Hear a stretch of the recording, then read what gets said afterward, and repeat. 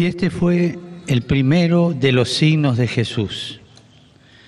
Y lo hizo en la ciudad de Caná de Galilea. Así termina el evangelio que hemos escuchado y que nos muestra la aparición pública de Jesús. Nada más y nada menos que en una fiesta. No podía ser de otra forma, ya que el evangelio es una constante invitación a la alegría. Desde el inicio el ángel le dice a María, alégrate. Alégrense, le dijo a los pastores. Alégrate, le dijo a Isabel, mujer anciana y estéril. Alégrate, le hizo sentir Jesús al ladrón, porque hoy estarás conmigo en el paraíso. El mensaje del Evangelio es fuente de gozo. Les he dicho estas cosas para que mi alegría esté en ustedes y esa alegría sea plena. Una alegría que se contagia de generación en generación y de la cual somos herederos, porque somos cristianos. ¿Cómo saben ustedes de esto, queridos hermanos del norte chileno? ¿Cómo saben vivir la fe y la vida en clima de fiesta? Vengo como peregrino a celebrar con ustedes esta manera hermosa de vivir la fe. Sus fiestas patronales, sus bailes religiosos, que se prolongan hasta por una semana, su música, sus vestidos, hacen de esta zona un santuario de piedad y espiritualidad popular.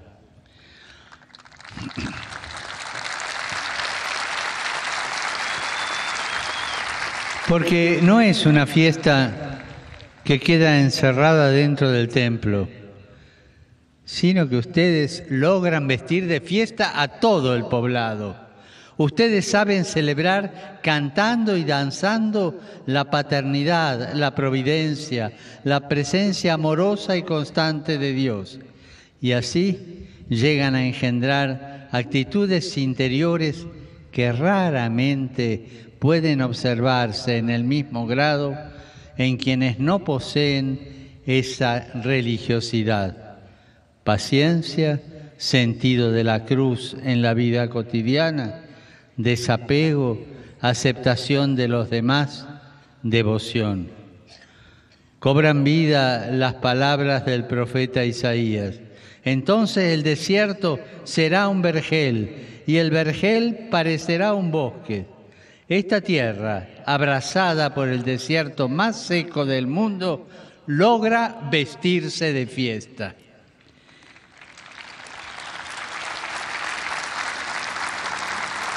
Y en este clima de fiesta, el Evangelio nos presenta la acción de María para que la alegría prevalezca. Ella está atenta a todo lo que pasa a su alrededor. Y como buena madre no se queda quieta y así logra darse cuenta de que en la fiesta, en la alegría compartida, algo estaba pasando. Había algo que estaba por aguar la fiesta. Y acercándose a su hijo, las únicas palabras que le escuchamos decir no tienen vino. Y así María anda por nuestros poblados, calles, plazas, casas, hospitales.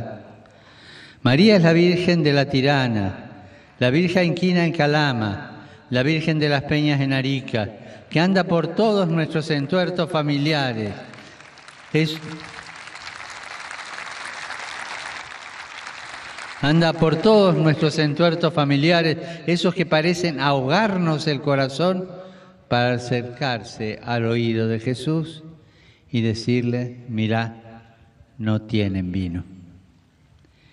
Y luego no se queda callada, se acerca a los que servían en la fiesta y les dice, hagan todo lo que Él les diga. María, mujer de pocas palabras, pero bien concretas, también se acerca a cada uno de nosotros a decirnos tan solo, hagan lo que Él les diga. Y de este modo se desata el primer milagro de Jesús, hacer sentir a sus amigos que ellos también son parte del milagro. Porque Cristo vino a este mundo no para hacer una obra solo, sino con nosotros. El milagro lo hace con nosotros, con todos nosotros, para ser la cabeza de un cuerpo cuyas células vivas somos nosotros, libres y activas. Así hace el milagro Jesús, con nosotros. El milagro comienza cuando los servidores acercan los barriles con agua que estaban destinados a la purificación. Así también cada uno de nosotros puede comenzar el milagro.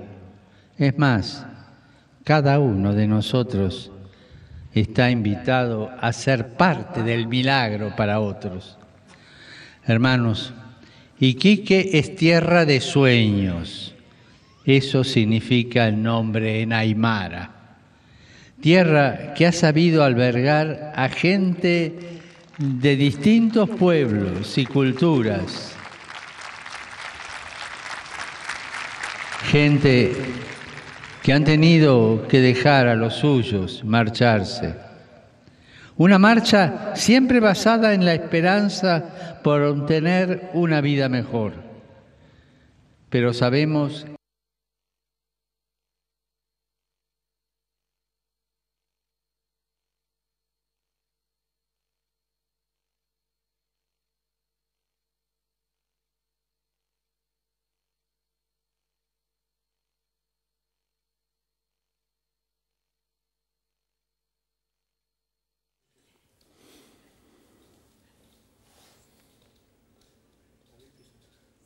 Bien, estamos con algunos inconvenientes con la transmisión satelital que llega a través de la televisión chilena. Eh, José, desde Iquique, tuvimos primero un pequeño salto en la imagen y ahora un problema que no está llegando el sonido. que tuvo que atravesar desiertos para poder seguir con vida.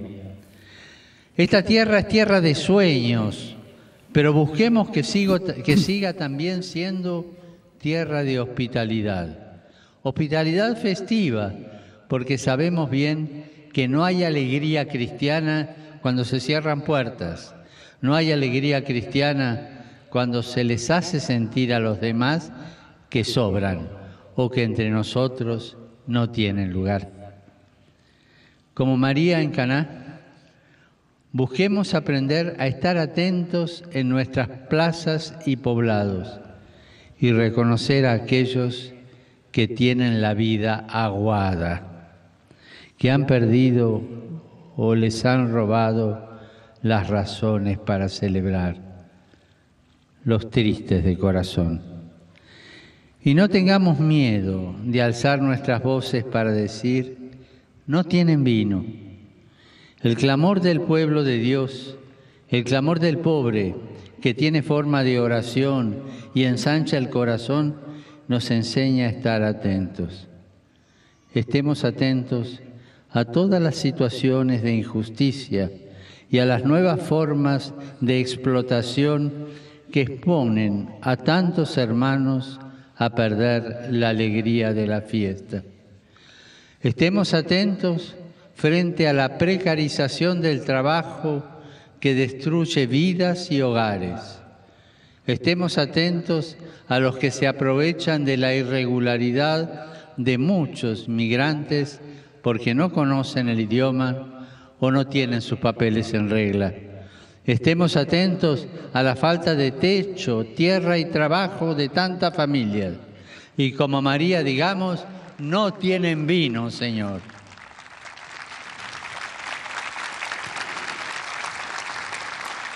Como los servidores de la fiesta, Aportemos lo que tengamos por poco que parezca.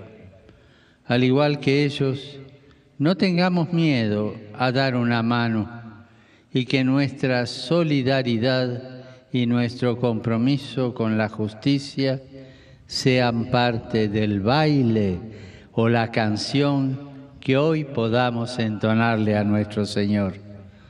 Aprovechemos también a aprender y a dejarnos impregnar por los valores, la sabiduría y la fe que los inmigrantes traen consigo, sin cerrarnos a esas tinajas llenas de sabiduría e historia que traen quienes siguen arribando a esta tierra.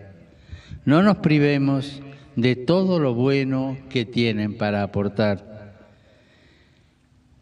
Y después dejemos que Jesús termine el milagro, transformando nuestras comunidades y nuestros corazones en signo vivo de su presencia, que es alegre y festiva, porque hemos experimentado que Dios está con nosotros, porque hemos aprendido a hospedarlo en medio de nuestro corazón.